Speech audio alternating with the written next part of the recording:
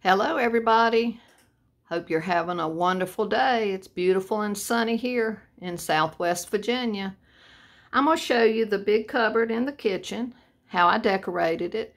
It's got a lot of my regular everyday stuff and just a few Easter and Bunny touches here and there. You can see I redid the top of the cupboard totally. That's where I put that set of five of those wonderful bowls with the brown stripes.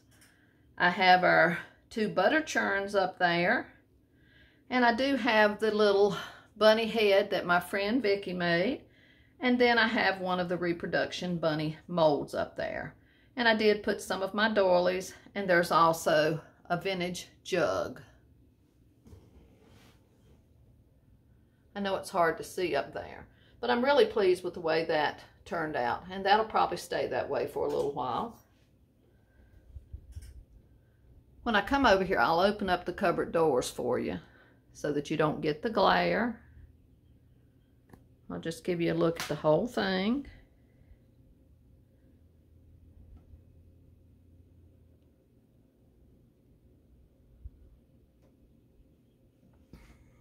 In the basket there, y'all remember John made a bunch of those spindle carrots. He cut them and painted them, and then I decorated them and put the greenery in them, and I just love them. And I have that bunny we got, I can't remember how long ago that's been. I think that was at Goodwill I got that bunny. Then in my two-tier tray, I just have a bunch of vintage pieces. There's that little William Shakespeare tiny book. There's the vintage green dog planter back there and a vintage creamer and a spice grater. And the little tiny moss bunny came from Dollar Tree. And there's one of my vintage bowls. And more of the spice graters are in it. And there's that little nest that I made last year. Of course, my crock with my wooden rolling pins in it. Oh, I did get this chicken. I can't remember if I showed y'all that or not. I can't remember which week we got this rooster and chick picture. But I love it. And there is the whisk broom that John got at the estate sale. And I just have some of my old books still there. And my one and only Steiff, or Steve, however you say it, bunny. Then up here, I have all my wonderful Dundee marmalade jars. There's my collection of little advertising rulers. There's those beautiful spoons we got last week or week before last. And there's my one and only tomato spoon in my old wonderful ironstone pitcher. And there's my collection of laundry pins that I've had forever and didn't realize that they were a collection. And there's a couple of metal six inch advertising rulers. And there's where I put the bloater paste that I got from Mandy. That's a little old pin box that I just put a little nest in another grater, some old tin Easter eggs with more of our English pieces. And back there's the platter I got recently. And some of the wonderful old bowls and an old cabbage seed pack.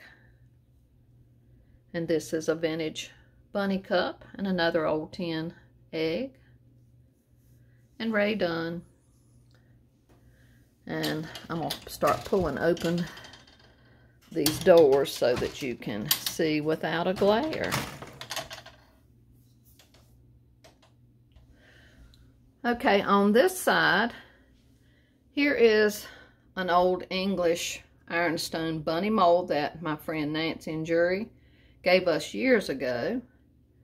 And Rae Dunn with some carrots. And there's those wonderful little potted meat containers and a little stamp mold and my cute cow creamer and moire done.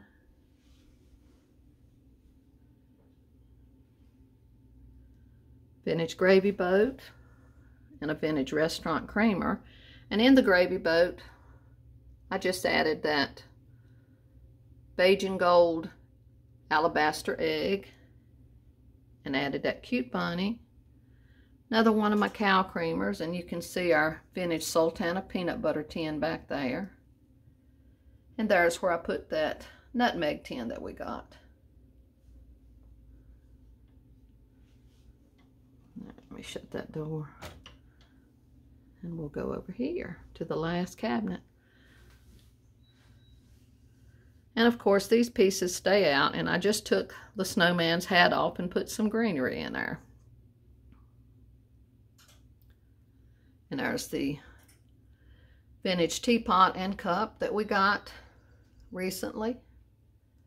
And one of my old butter molds and another cow creamer. And of course I put doilies all along in here too.